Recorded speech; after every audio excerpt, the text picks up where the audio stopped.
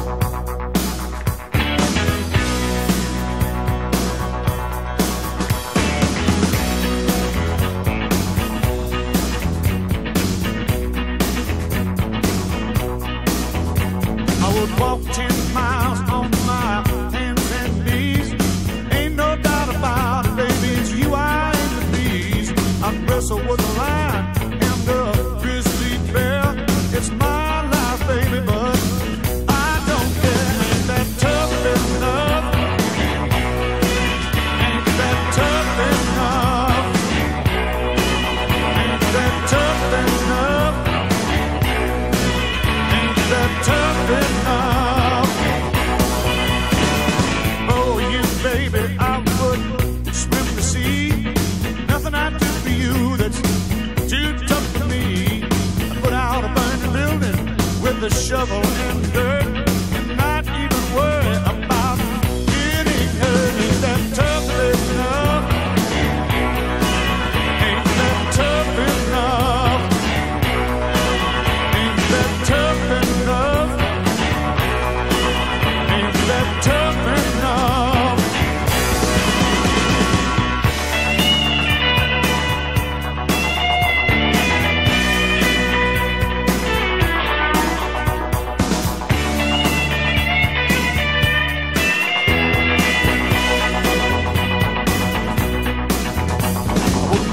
24 hours, seven days a week,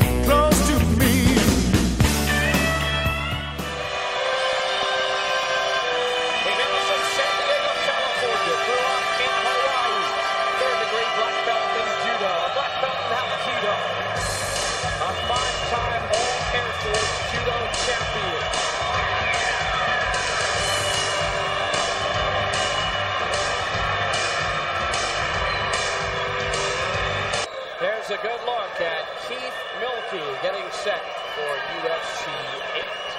His opponent is Sam Adkins. Let's take a closer look.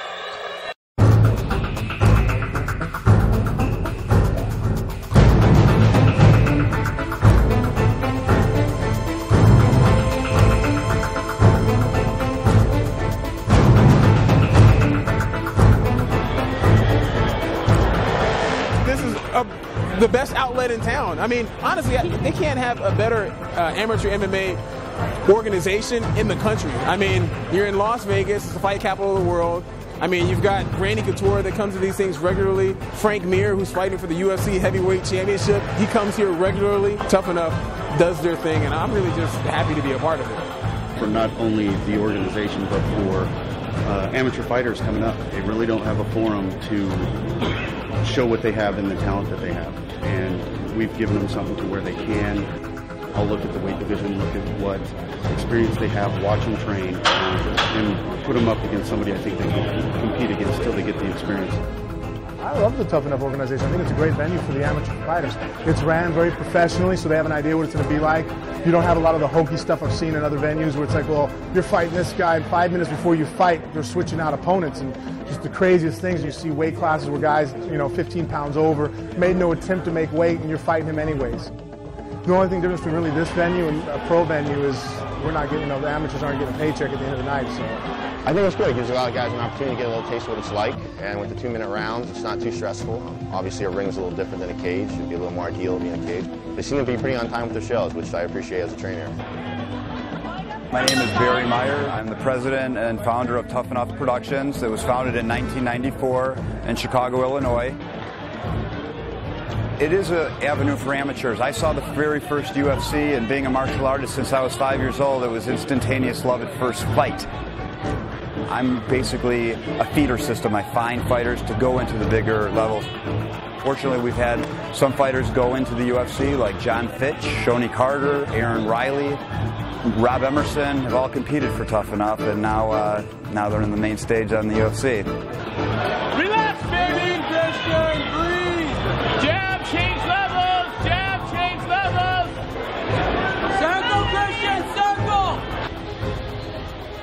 so many fights, roughly 15 to 20 fights per month, so we can easily say we've had hundreds of fighters go through the Tuff-N-Uff ring.